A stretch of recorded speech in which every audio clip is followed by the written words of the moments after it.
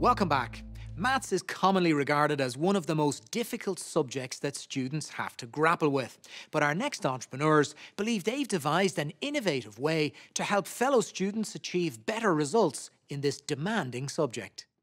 Transition year students from Coláiste Chiaráin and Croom, Ian Maloney and Fiona Hogan are part of a group who've come up with an app designed to help students struggling as they work towards exams. Hello Dragons, my name is Fiona Hogan. And I'm Ian Maloney. Our company is called Principal Apps. Our flagship product is called Professor Maths. The app was created for junior certificate maths students to help them maximise their results.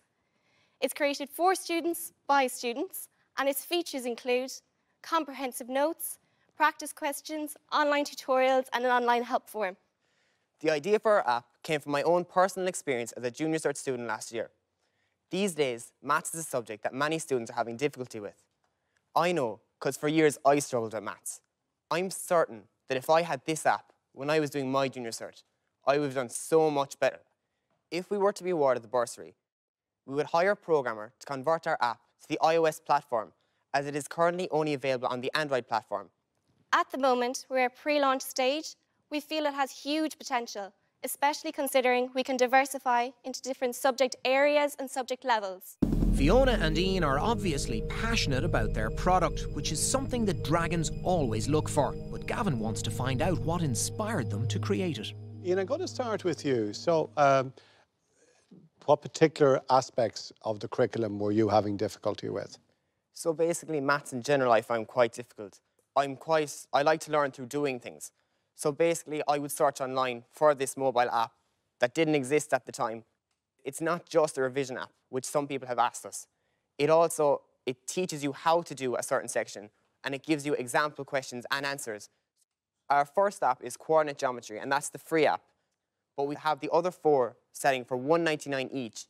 There's a support forum as well based into it. So you can put up a question straight away and one of our team will get back to you straight away with the problem. Congratulations, this is very impressive. Thanks Um, how much of it did you do yourself? We've done everything ourselves. Ian designed the app and then we've four other members in our team. We all did the maths content ourselves. And now the help desk, I mean, so if there's a lot of people using this, you- you're not going to have people spending all their evenings helping other other students. So is there a reward for that, or how, how do you see that working? Um, in the time to come, we hope to have a full team that will answer all the questions they have. We will come to an agreement at the time. But at the moment, as we said, it's at pre-launch stage, so we're just getting our feet into it at the moment. Okay. How are you going to market this? We hope to market it through um, social media, but we have contacted every principal and deputy in Ireland through an association to get it into the schools. As well as this, we hope to travel around to other schools, give some demonstrations so they can see for themselves how good the product is.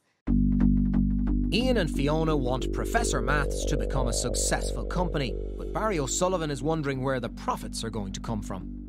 My experience is kids in general hate paying for apps and, well, they hate paying for anything.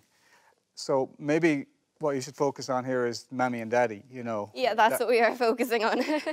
They're Yeah. spending their time um, for grinds, which can be very expensive. They can be up to Right. 25 euro per hour, plus petrol and time to actually travel to it. Whereas we're providing all this for just under 10 euro.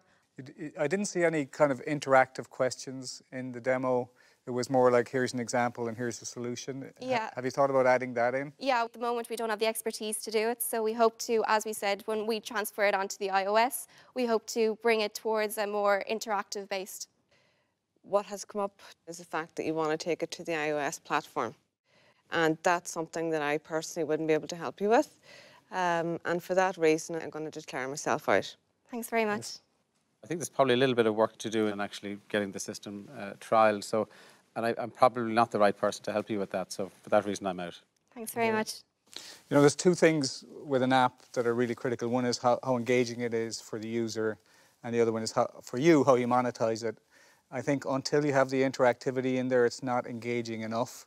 Um, and you need to find a way to get the mammies and daddies to pay for it. Build out your marketing plan on that. Until you have that, I'm out. Thank you. Thanks very much.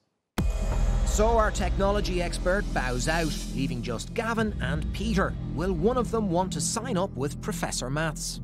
Fiona and if there was a prize for um, the best presenters in the Den in uh, 2014, you would be winning uh, that prize uh, in, in, in my book. Thanks very much. Um, it could be a world beater, but we're awarding bursaries to the, the world beaters uh, at this stage that are up and running. So uh, I'm going to say I'm out. Thanks very much. You've done so well to get it to where it is now, uh, but I, I just think uh, there's so much competition out there in the app space. With a heavy heart, I'm afraid I have to say I'm out. Thanks very much for your time. Thank you. Well done. Well done. So Ian and Fiona leave the den empty handed, but with their heads held high.